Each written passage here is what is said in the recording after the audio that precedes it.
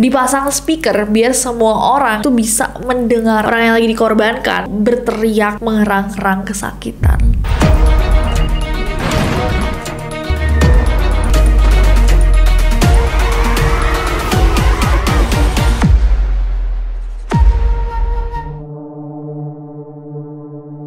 Bohemian Grove, klub elit yang melakukan ritual persembahan manusia. Hey guys, it's Nessie and welcome back to Neror. Kalau kalian belum subscribe ke channel ini, jangan lupa klik tombol subscribe-nya, terutama untuk kalian yang suka teori konspirasi. Teori konspirasi mengerikan yang kita bahas malam ini adalah Bohemian Grove. Teori konspirasi ini sebenarnya udah ada lama banget, tapi kemarin rame lagi setelah seorang professional boxer, petinju profesional Ryan Garcia mengaku bahwa dia adalah salah satu persembahan dari klub elit ini ketika dia masih kecil. Dia juga mengaku dia dulu dianiaya, dilecehkan, dan sebagainya Seseram apa teori konspirasi tentang Bohemian Grove? Dari mana asal teori konspirasi ini datang? Dan apa sebenarnya Bohemian Grove? Langsung aja kita bahas bersama-sama di Neror malam ini. So without any further ado, stop senyum-senyum. Cause shit's about to go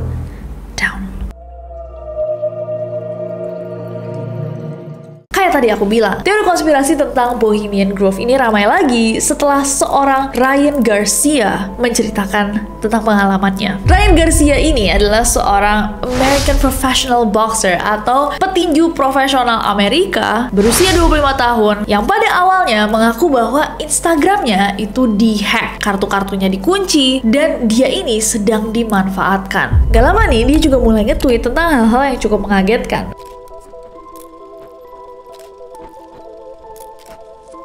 Sampai di topik Bohemian Grove. Nah, di tanggal 6 Maret tahun 2004, melalui forum X Spaces yang dibuka sama Andrew Tate, Ryan Garcia ini menceritakan tentang pengalaman dia dengan Bohemian Grove yang dia katakan nyata adanya. Bahkan dia tuh pernah ditahan, diikat, dan dipaksa untuk menonton pelecehan anak-anak di sebuah hutan oleh para orang-orang elit yang tergabung dalam klub ini. Hey bro, alright, talk to us. Bro, I don't give a bro. They held me down. and They made me watch the little kids get. I don't give a f- anymore. Where? Bro, they fucking took me to the fucking woods, bro, and they. I'm not joking, bro. I have fucking proof, bro. Ryan Garcia juga mengklaim bahwa dia tuh memiliki bukti video dan dia juga mengatakan dia pun merupakan seorang victim, seorang korban dan dia itu dulu pernah dilecehkan saat dia masih berusia 2 tahun. Maka dari itu, dia tuh merasa bahwa inilah saat yang tepat untuk mengungkap semuanya demi membela anak-anak kecil khususnya korban kekerasan seksual, perdagangan anak dan juga pedofilia. Nah, di 11 Maret tahun 2024 kemarin, dia nge-tweet gini guys. Besok adalah salah satu live stream yang bakal paling penting yang pernah saya lakukan. Akan disiarkan live di semua platform saya dan semua klaim saya akan di backing sama bukti-bukti dan kejelasan. Dan dengan ini saya akan bisa mengklarifikasi keaslian dari semuanya, termasuk tentang hutan dan juga saya pas diikat. Dan mungkin dengan itu orang-orang akan percaya dan mengerti sebenarnya kita tuh melawan apa. Udah waktunya orang-orang pedofil yang sakit jiwa dan orang-orang elit yang merasa mereka bisa ngelakuin segalanya, hal-hal buruk kepada anak-anak kecil untuk dihukum. Waktunya sudah habis. Good riddance, good night. Selamat malam. Nah, sebenarnya nih Ryan ini guys bukan orang pertama yang pernah ngomongin Bohemian Grove atau teori konspirasi Bohemian Grove. Sejak puluhan tahun lalu udah ada beberapa pengungkap fakta atau whistleblower yang mengklaim bahwa para elit itu terlibat dalam ritual setan, pelecehan, perburuan dan juga penyiksaan anak-anak di Bohemian Grove. Messi, apa sih Bohemian Grove ini? Bohemian Grove ini adalah sebuah lokasi hutan seluas 1100 hektar tepatnya di Sonoma County, California, Amerika Serikat. Nah, tempat di hutan ini guys digunakan sebagai tempat perkumpulan dan juga perkemahan para anggota dari sebuah grup yang dinamakan Bohemian Club. Apakah Bohemian Club ini ada beneran tercatat dan lain-lain? Yes. Bohemian Club is a thing, is a real thing. Dia adalah hal yang beneran ada. Tentunya dia tidak tercatat sebagai sekte atau klub elit yang memuja hal aneh dan melakukan hal-hal menyimpang ya guys. Tapi Bohemian Club itu tercatat sebagai sebuah klub sosial elit khusus pria yang didirikan di San Francisco pada tahun 1872 oleh sekelompok seniman, penulis, aktor, pengacara, dan jurnalis. Orang-orang yang tergabung itu memiliki segala kemampuan dan juga tertarik pada seni dan budaya. Dikatakan bahwa klub ini didirikan oleh seorang Henry Harry Edwards yang merupakan aktor, penulis, dan peneliti serangga. Nah, istilah bohemian itu dipakai untuk menggambarkan gaya hidup yang bebas dan tidak konvensional, tapi tetap dalam lingkup perkotaan intelektual dan bukan tipe miskin. Nah, karena itu, klub ini akhirnya berkembang dengan anggota-anggota yang jauh lebih luas dan elit lagi, mencakup politisi dan pengusaha-pengusaha super kaya raya. Nah, tujuan kegiatan dari Bohemian Grove sendiri itu adalah untuk melarikan diri dari budaya perbatasan atau kepentingan-kepentingan yang tidak beradab dari orang-orang biasa. Hah? Nah, klub ini guys memiliki moto yang diambil dari salah satu kutipannya William Shakespeare yang berkata, "Weaving dealing spiders come not here." Yang berarti kesepakatan bisnis tidak boleh diikut sertakan dalam klub ini. Jadi mungkin maksudnya kayak members-membersnya ini boleh datang, kalian boleh bergaul dengan siapa pun yang ada di situ karena kan pergaulannya juga pergaulan elite-elite ya. Tapi kalian nggak boleh bahas bisnis. Nah, klub ini menempati lokasi sementara sampai akhirnya mereka mendirikan kantor pusat pusat permanennya pada awal tahun 1930-an di 624 Taylor Street, San Francisco, California. Jadi ini bukan cuma klub kumpul-kumpul aja ya, bahkan mereka punya kantor dan berarti ada manajemennya gitu. Tapi mereka rahasia. Hah, ini adalah klub rahasia?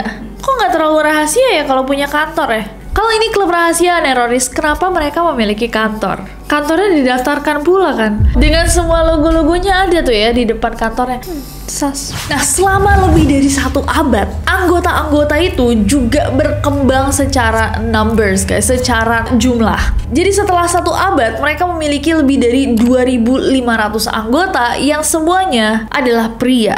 Termasuk beberapa mantan Presiden Amerika Serikat, politisi tingkat tinggi, pejabat militer, petinggi bank, dan pengusaha-pengusaha besar.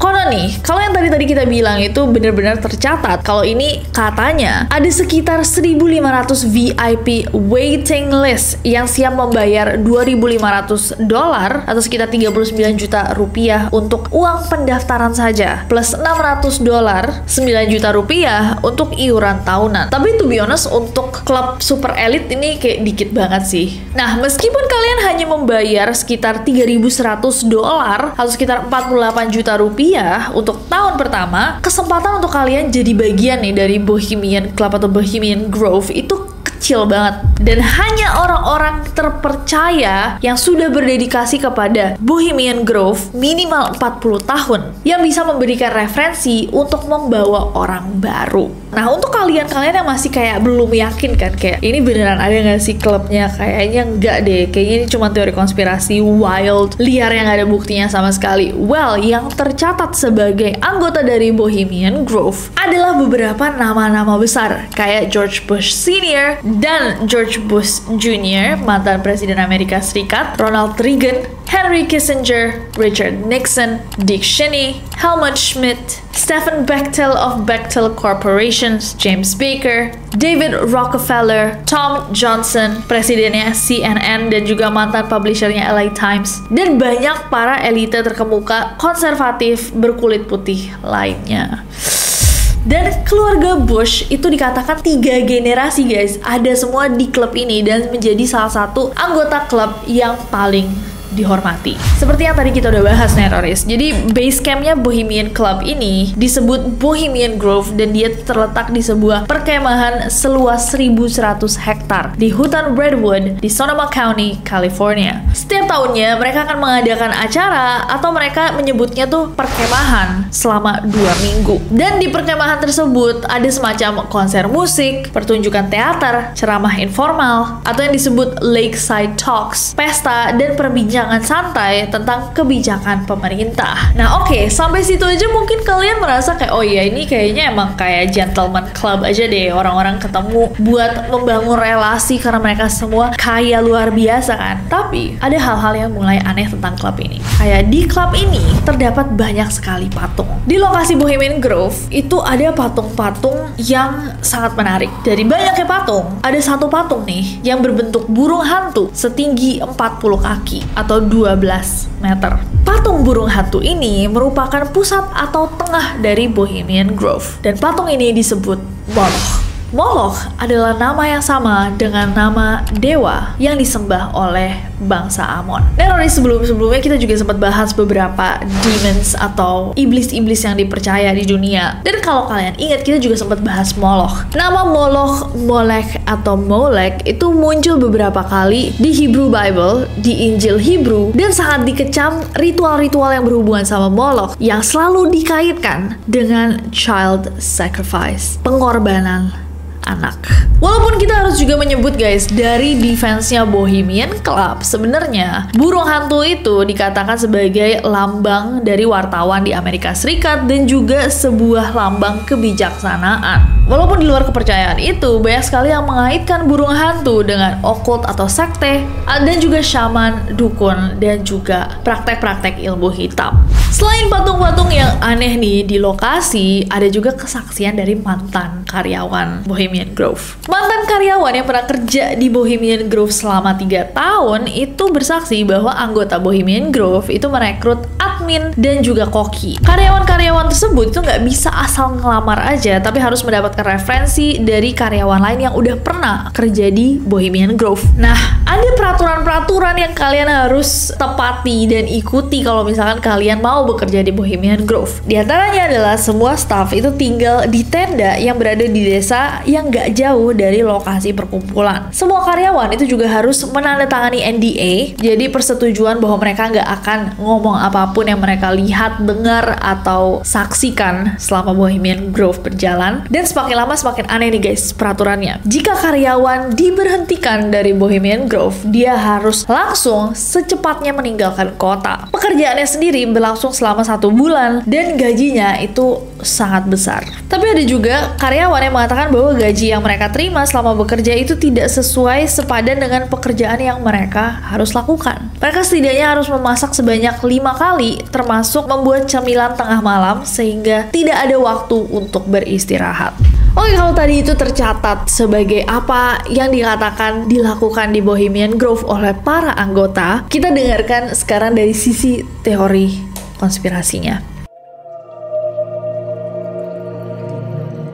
Dikatakan bahwa orang-orang elit ini bertemu dan berkemah bersama di Bohemian Grove itu bukan cuma untuk menjalin relasi dan juga ngomongin politik, tapi ada ritual rahasia. Dikatakan bahwa pada hari Sabtu sebelum makan malam, para anggota itu akan melakukan ritual yang disebut cremation of care. Ritual ini pertama kali dilakukan di tahun 1881.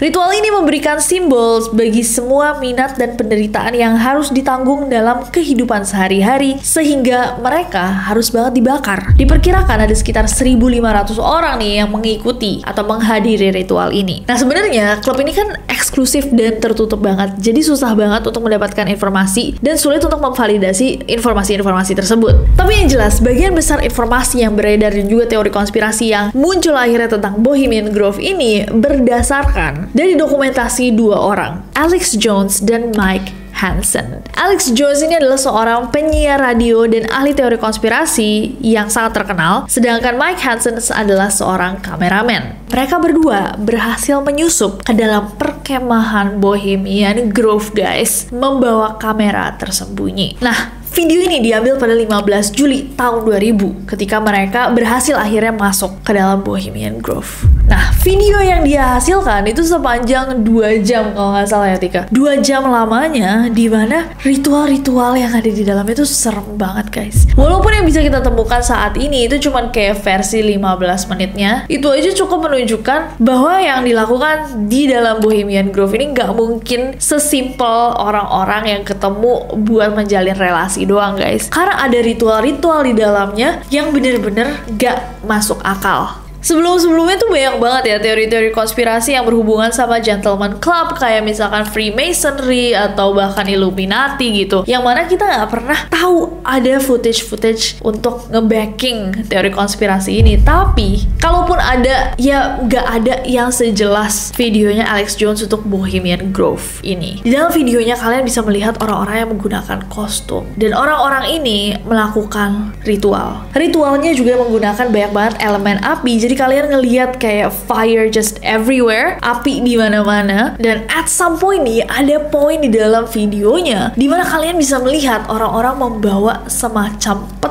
yang di dalamnya ada orang guys. Orangnya ketika diteliti merupakan anak kecil yang bisa kalian lihat masih bergerak. Jadi ritualnya itu dimulai dengan iring-iringan membawa anak ini. Anaknya dibawa sama orang-orang dengan jubah yang memiliki tutup kepala. Terus orang-orang ada yang menyanyikan lagu-lagu penguburan. Beberapa lainnya muncul dengan obor. Yang lalu orang yang terdapat di dalam petinya itu Bahkan dikatakan bahwa saat ritual ini berjalan guys, dipasang speaker biar semua orang itu bisa mendengarkan sang korban atau orang yang lagi di sacrifice, orang yang lagi dikorbankan itu berteriak mengerang-erang kesakitan. Merinding gak kalian?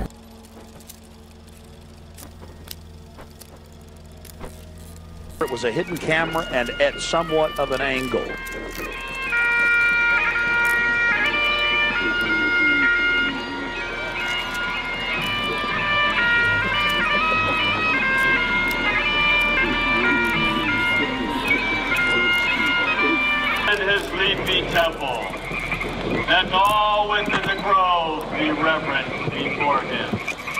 Let them join us in this ritual.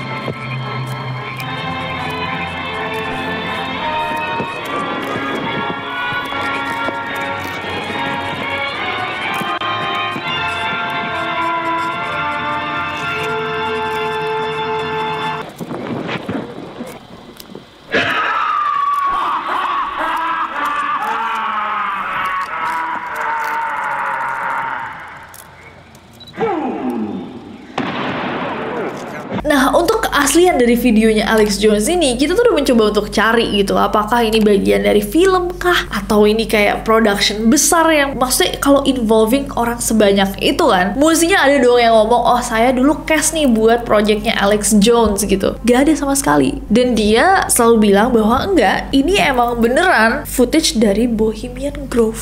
Nah, Alex Jones ini guys, bukan ahli teori konspirasi yang ecek-ecek ya. Bahkan dia tuh udah sempet ngomongin dan membongkar rahasianya pulau Jeffrey Epstein 10 tahun sebelum akhirnya kasus itu terbongkar sendiri. Jadi menurut Alex Jones juga bahwa Jeffrey Epstein ini nanti ada yang lanjutin guys. Dan mereka-mereka itu juga datang dari Bohemian Grove. Sejalan nih sama teori ini, banyak orang yang percaya bahwa Bohemian Grove ini adalah tempat para elit laki-laki yang melakukan pelecehan terhadap anak-anak laki-laki lainnya yang masih di bawah umur. Karena kalau kalian inget, klub ini emang eksklusif buat laki-laki aja. Ditambah lagi nih, Richard Nixon, mantan Presiden Amerika Serikat ke-37 itu pernah mengatakan hal yang cukup mengejutkan yang semakin menguatkan teori ini. Dia bilang bahwa, tapi itu bukan cuma bagian buruk dari kotanya aja. Orang-orang kayak di San Francisco itu emang kayak gitu. The Bohemian Grove yang sempet aku datangin nih beberapa kali, itu tempat paling fag ya, itu sebenarnya kata kasar banget. Fag itu adalah kata slur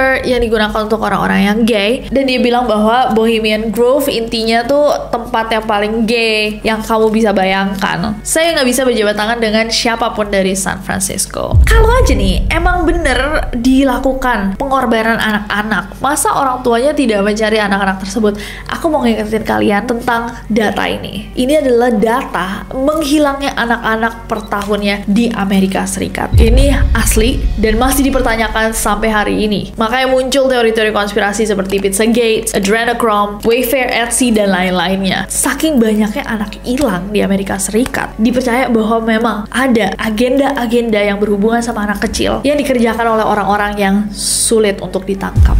Bohemian Club ini juga sempat dikaitkan sama proyek Manhattan dan juga New World Order. Ingat kan tadi kayak kita sempat bahas moto mereka adalah kita nggak boleh bahas bisnis di dalam klub Bohemian ini. Tapi katanya kesepakatan ini cuma pernah dilanggar sekali di tahun 1942 saat perencanaan tentang proyek Manhattan itu dilakukan di hutan Bohemian Grove. Untuk kalian yang udah nonton Oppenheimer, pastinya udah tahu bahwa proyek Manhattan ini akhirnya led to atau mengarah ke pembuatan bom atom. Dikatakan bahwa Robert Oppenheimer itu melakukan diskusi dan juga perencanaan bom atom bersama beberapa anggota dari Bohemian Club di Bohemian Grove. Nah, orang-orang ini adalah orang-orang yang sama dengan mentality atau misi untuk membuat New World Order yang mengatakan bahwa kalau misalnya aja nih bom atom bisa dipekerjakan untuk menghapus sebagian besar manusia yang sudah mulai memenuhi planet ini, mereka akan bisa secara setengah meriset sedikit planetnya, membuat kembali dunia sesuai dengan keinginan dan peraturan mereka yang pada akhirnya akan teratur dalam New World Order, tatanan dunia baru.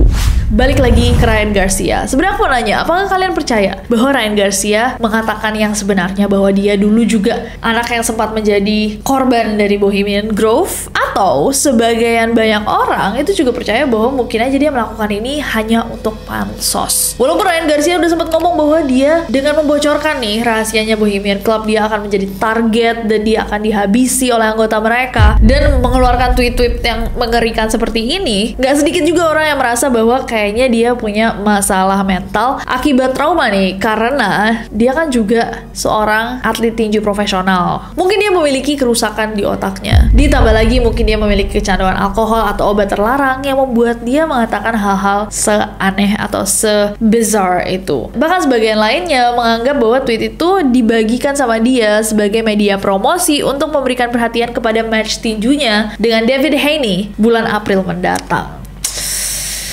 Tapi apakah Ryan Garcia mengatakan yang sebenarnya? Mungkinkah memang ada klub-klub elite yang melakukan pengorbanan pada anak-anak, menyiksa, melecehkan anak-anak laki-laki? Kalau memang iya, untuk apa? Yang jelas dunia ini lumayan gila, kita nggak pernah tahu apa yang sebenarnya. Maka ini adalah sebuah teori konspirasi. Take it in wisely, selalu bijak dalam membahasnya. Dan apa lagi yang kita harus bahas next time, tulis di bawah. Dan jangan lupa subscribe karena aku gak sabar untuk ketemu kalian lagi.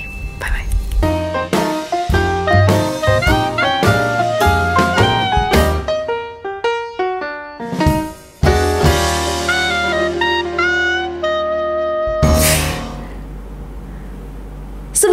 Mengagetkan sampai dia sampai. Nah Bohemian Grove ini sebenarnya adalah terakhir. Tuh dua tiga. Tapi apa sih Bohemian Grove ini? Bohemian ah